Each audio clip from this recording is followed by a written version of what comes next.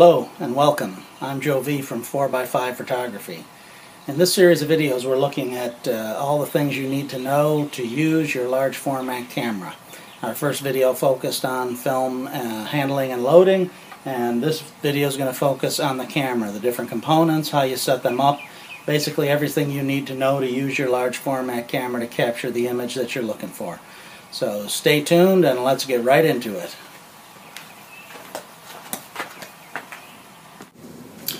Now one of the most important setup elements when you're working with large format film, really with, with any photography, is composing the shot correctly.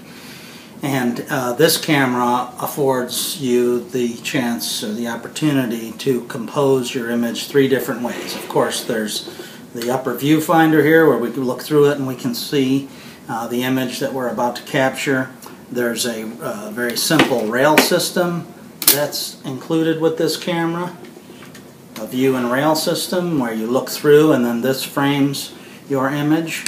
And probably the most important when you're talking about large format photography is the rear uh, ground glass. And what happens is your lens, once it's opened, once the shutter is opened, it will project an image onto your ground glass. And this is really where you do your fine uh, focus adjustment. We'll show more of that a little uh, later in the video.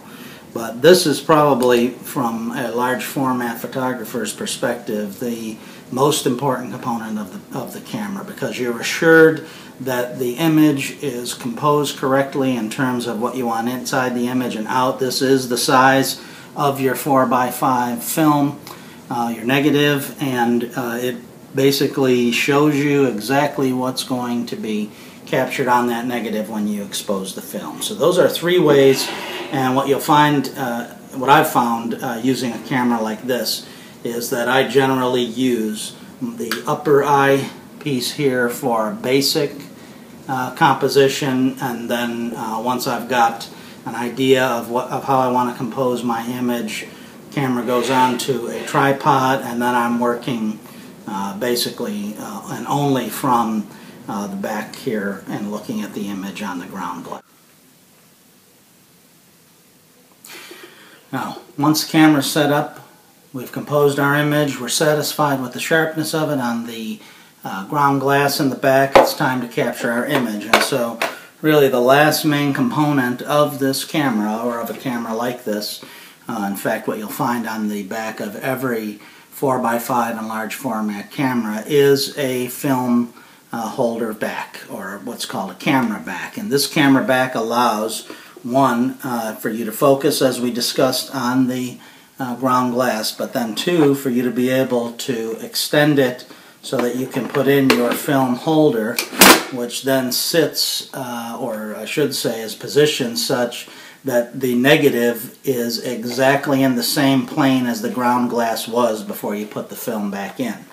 So by focusing sharply on the ground glass and then having this film back expand out, uh, and inserting the, uh, the negative in its place, you're then ready to capture your image. Now this particular back for this camera is something called a Graflok back and as an example uh, just to show you some of the differences the Graflok back different, differentiates this camera because I can take off this ground glass back and I can substitute other components here roll film holders and other components that I want to use. In comparison, this is a little older camera. Again, it's still a Graflex. This one happens to be a Speed Graphics. Uh, and I'll talk about the differences of these cameras in a separate video. But it has what's called a spring back. Still has the exact same function that you see with the other back. The ability to insert a film holder that's positioned exactly where the ground glass is.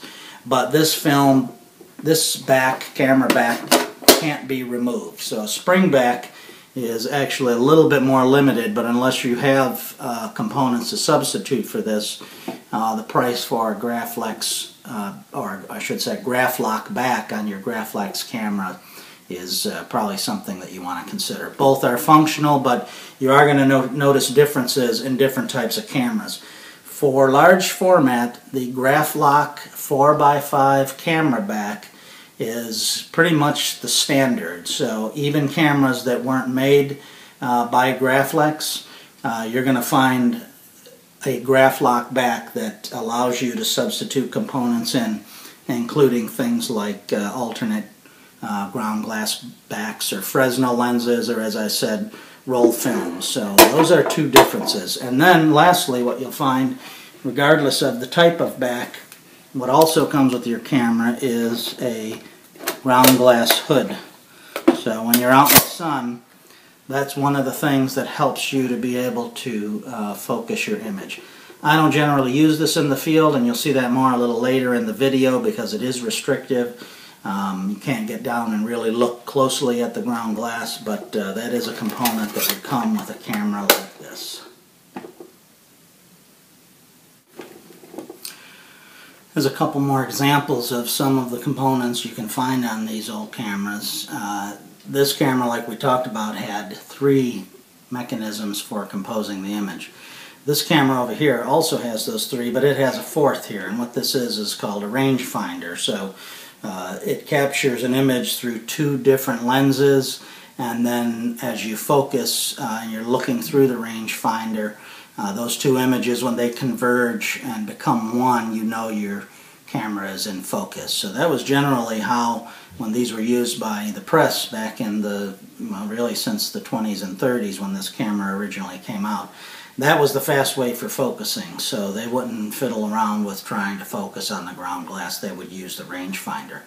Uh, I primarily, of these two cameras, uh, I use the one over here on the right, the Crown Graphic, for a couple reasons. Uh, but quite frankly, uh, I don't really find much use for the rangefinder because when I go out into the field, uh, as I said before, I'm working primarily from the ground glass to focus. So uh, I'm I'm not interested in one the weight that you get with the rangefinder, uh, or two some of the uh, very um, complex and sometimes you know finicky adjustments you have to make to keep these intact. So if you're considering a you know the an inexpensive large format camera, the fewer components that it has that it has, you're going to find the the lower the cost. So.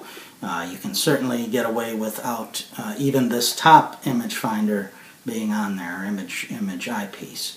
Secondly, uh, one thing I didn't cover is how you open these cameras, and to some folks it, uh, it is a mystery. What you will find is no switch, but there's a little bump either on the side or on the top of the camera here. And you can see it in the video. This one's on the side. So by pressing that, the camera will open. This one happens to be on the top, and it will do the same. And so that's the mechanism for opening the camera.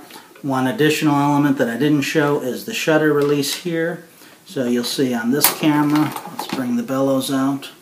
Okay, the shutter release will depress this arm here, which is what triggers the uh, shutter to fire. And then uh, really uh, that, that's the main components of this. You'll find on some of these cameras you'll you'll see that there are small locking mechanisms here or stops on the rails, the focusing rails that stop the standard from coming all the way out. Those are set for the focal lengths that you're using. So in, in this example, in this camera, I've got a 127 millimeter uh, lens on here, and this stop is set so that I know when I pull this out and it hits that stop, that I'm close to where I need to be to focus and that I'm focusing using my focusing knobs uh, which move the moves the rail in and out here.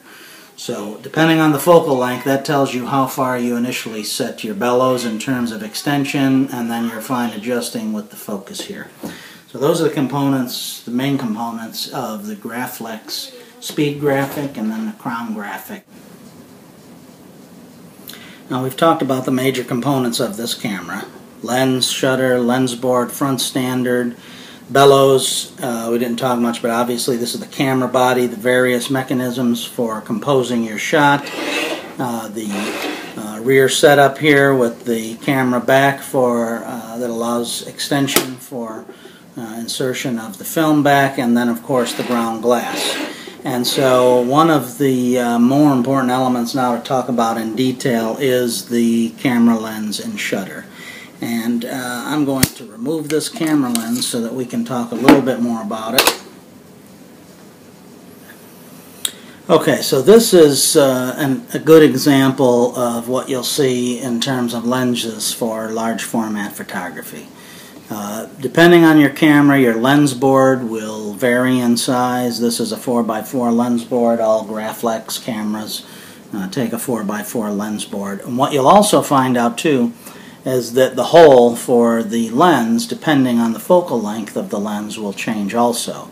So when you change lenses, if you have multiple lenses, and, and again, this isn't any different from what you're doing today with uh, you know current digital technology, you buy and you substitute lenses. Now, uh, today, most people buy uh, zoom lenses because of their flexibility. Uh, this is not a zoom lens. This is a, a prime lens, if you want to think that, about it. That was fixed focal length, and uh, really you vary the, uh, the focal length by changing lenses here. So think of it in terms of uh, today's world as a prime lens. And a lens has two elements, what you see in front here and what you see in the back, and both of these can be removed. They unscrew from the shutter. Uh, what you'll also find here, and we'll talk about the shutter in a minute, but what you'll also find here uh, are components like this that are used to support the flash. The, the Graflex camera that we're using in this demonstration is what's called a press camera. So uh, you may uh, have seen old pictures of um, photographers and press people holding the camera up with the uh, the big um, bulb for flash. Uh, this is this helps to delay the flash. So not something we're using uh, when we take this camera out into the field, and, and not something to worry about if it's not there. But like all lenses, you've got uh, a shutter that has variable shutter speeds and depending on the age of the lens uh, you'll either have more options or fewer. Uh, you've got both uh, T and B, bulb and timed. Uh, bulb will give you the ability with this lens like it will on any current lens to be able to um, you know, determine the length of, of your exposure uh, by manipulating the shutter and then T will just hold the shutter open until you click the shutter again. And then down here you've got aperture, so you can adjust the aperture of your lens. What you'll find on many um, large format lenses is an aperture that goes quite high. Since uh, these were used out in the field, uh, it's, it's not it's not uncommon to see these extend up to you know you know f-stops in the 30s and 40s. So uh, that helps you get a, a obviously a clear, very deep depth of field. What this lens also has is what's called a focus or a composition button. And let me just show you how the shutter works here. So I, am locking, cocking my shutter here, and then depending on my shutter speed, it's mechanical, so it's it's lasting for it's keeping the shutter open as long as I would like it to. But to be able to focus an image with a large format camera, I have to be I have to have light coming through this and hitting the ground glass while I'm focusing. Now I could do two things depending on the uh, lens that I've got. I could put this on T and I could cock my shutter, fire it, and the lens will stay open. Let's see if we can show that.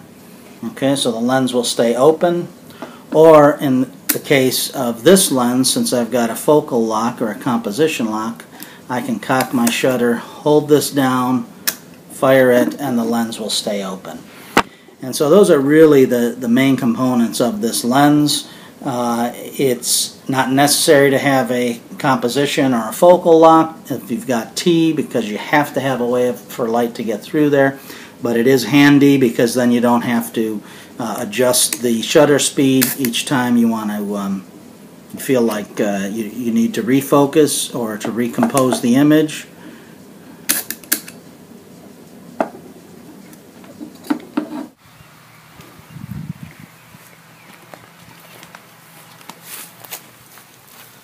So if you watch video one, you learned how to handle and load film. Video two here, we looked at all of the components of our large format camera and how they work together, uh, what the main elements are, particularly in detail how our lens works. So the next video is going to cover using this camera to actually capture a, a uh, image out in the field, so I hope you'll take the chance to watch it.